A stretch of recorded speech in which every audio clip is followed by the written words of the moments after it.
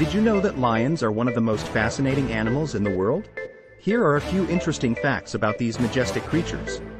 Despite being called the king of the jungle, lions actually don't live in jungles. That's just Hollywood. They mostly live in grasslands and savannas in Africa. And a small population also lives in the Gir Forest National Park in India. Lions are also incredibly fast runners, and can reach speeds of up to 50 miles per hour when sprinting. Another interesting fact about lions is that they are the only cats with manes. Male lions use their manes to attract mates and intimidate rivals. Finally, did you know that lions can sleep for up to 20 hours a day? That's right, they're some of the laziest animals out there, and can often be found lounging around in the sun. So there you go.